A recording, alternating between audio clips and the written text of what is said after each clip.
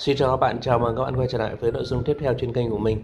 Nếu như bạn chưa tham gia hai nhóm Telegram và nhóm Zalo của kênh thì các bạn hãy bấm tham gia để nhận cái dự án kiếm tiền sớm nhất, mới nhất.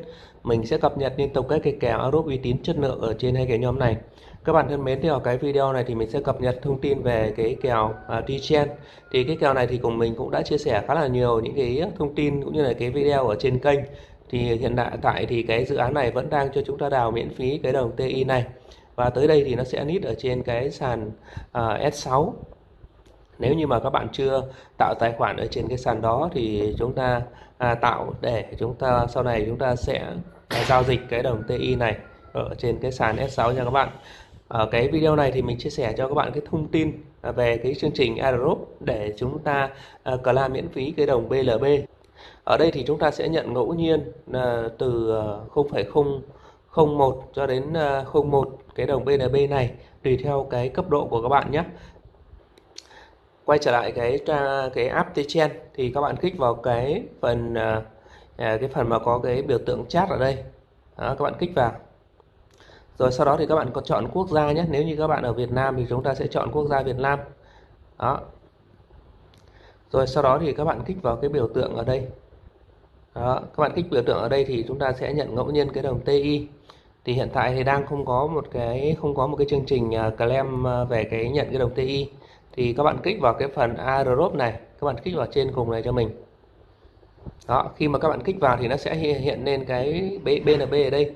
Tất nhiên là nó sẽ, ở đây là cái nhận ngẫu nhiên, theo cấp độ nhé, cho nên là nó sẽ không có cái số lượng à, cụ thể ở đây. Thì các bạn chỉ việc chúng ta sẽ kích vào. Các bạn kích vào thẳng vào cái biểu tượng này hoặc các bạn kích vào đây. Đó rồi như vậy là chúng ta đã nhận xong nhé.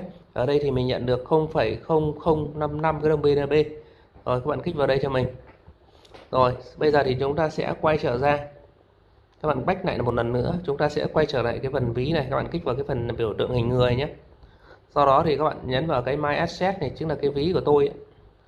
rồi các bạn kéo lên nhé. Các bạn xem cái đồng BNB ở đây thì cái đồng BNB của mình đã được cập nhật rồi ở đây thì mình ờ, hai lần nhận được ờ, cái ờ, đồng BNB này. Thì lần trước thì mình đã chia sẻ cho các bạn ở trên kênh về cái clam cái đồng BNB này ở cái dự án Trechen này thì mình đã chia sẻ rồi. Lần đó thì hình như là mỗi người cũng nhận được 0,5 0,005 đó, ở đây thì mình tổng một cái hai lần mình nhận là 0,006 cái đồng BNB là sấp xỉ 17 đô la. Đó thì các bạn nào mà chưa làm cái kèo này thì à, chưa làm cái airdrop để nhận clam miễn phí cái đồng BNB này thì các bạn vào chúng ta clam luôn nhé thì tới đây thì nó sẽ cho chúng ta rút cái này thì mình sẽ cập nhật với các bạn ở cái à, video lần sau. À, và cái dự án này thì nó vẫn đang cho chúng ta đào miễn phí. Nếu như bạn nào chưa tham gia đào cái đồng này thì chúng ta à, đăng ký tài khoản tải app về và chúng ta đào càng sớm càng tốt.